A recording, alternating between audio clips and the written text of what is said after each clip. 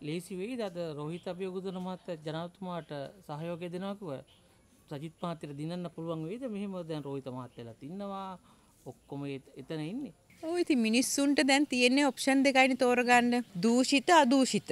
හොර සහ හොර නොවන. වැරදි නිවැරදි. දූෂණ වංචා සහිත දූෂණ වංචා නැති. අනාගතයක් පේන අනාගතයක් නොපෙනෙන. මේ රටේ මිනිස්සුන්ව බංකොලොත් කරපු බංකොලොත් නොකරපු. මේ කණ්ඩායම් දෙකෙන් එකක් තමයි මිනිසුන්ට තෝරගන්න තියෙන ඔප්ෂන් දෙක. රනිල් වික්‍රමසිංහ මහත්මයා මම මේ කතන්දරේ ඇත්තටම දැන් මෙතන ඉන්න ජන අපේ මහතුරුත් එක්කත් කතා කරා. අපි ගිය සැරේ මැතිවරණයේදී දැන් මේ මේක හොඳට මේ මම මේ පණිවිඩය දෙන එක්සත් ජාතික පාක්ෂිකයන්ට. ගිය සැරේ ජනාධිපතිවරණයේදී අපිට ලක්ෂ 55ක් සජිත් ප්‍රේමදාස මැතිතුමාට හම්බ වුණා. පාර්ලිමේන්තු මැතිවරණයේදී ඒක ලක්ෂ 27කට බැස්සා.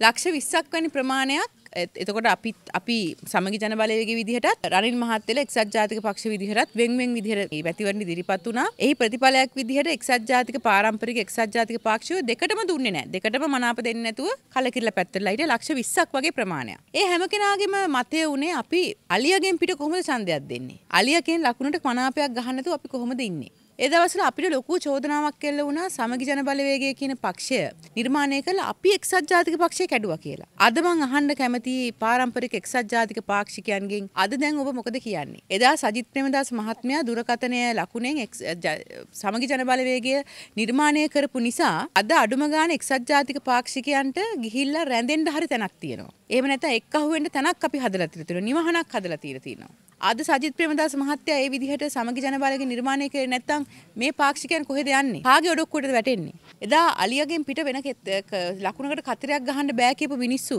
අද මොකද කියන්නේ? අද රනිල් වික්‍රමසිංහ මහත්මයා අවුරුදු ගණනාවක් තිස්සේ ආරක්ෂා කරගෙන ආපු ඒ අලියා ලකුණ එක්සත් ජාතික පක්ෂයේ පැත්තක තියලා අද පොහොට්ටුවේ කට්ටියව ගන්න උවමනාවට ස්වාධීන අපේක්ෂකෙක් විදිහට ඉදිරිපත් වෙලා තියෙනවා. ඒ දවස්වල මේ රටේ මිනිස්සු හැමෝම ගෙවල් ගිනි තිබ්බා මේ රට බංකොලොත් කරපු මිනිස්සුන්ගේ. ඔය රනිල් වික්‍රමසිංහගේ ඔඩොක්කුවේ ගෙවල් ගිනි ගත්ත කී දෙනෙක් ඉන්නවද? ඔය රනිල් වික්‍රමසිංහ ඔඩොක්කුවේ වංචා දූෂණ චෝදනාවලට ලක් වෙලා අද වෙනකොට බරපතල විදිහට දඬුවම් විඳින්න ඕන මිනිස්සු. වංචා දූෂණ කරපු කට්ටිය කොච්චර ඉන්නවද? ඊට අමතරව ඔය රනිල් වික්‍රමසිංහ මහත්තයාගේ ඔඩොක්කුවේ අපි ඒ දවස්වල කියපු සීනි හොරා කියයි සුදුළු උණු හොරා කියයි. වගේ වංචා දූෂණ කොච්චර නම් වෙච්ච මිනිස්සු අද රනිල් වික්‍රමසිංහ මහත්තයත් එක්ක ඉන්නවද? එතුමා ඒ කට්ටියවත් එක්කහු කරගෙන අනාගත ජනාධිපති ධූරය සඳහා මේ යන්න හදන්නේ. එතකොට දැන් බලන්න අද එක්කහු වුණා රෝහිත අබේගුණවර්ධන. රනිල් වික්‍රමසිංහ මහත්මයාගේ මාමා වලෙන් නැගිටලා ආවොත් එහෙම ඇත්තනම මේ උසල පොළවේ ගහනවා.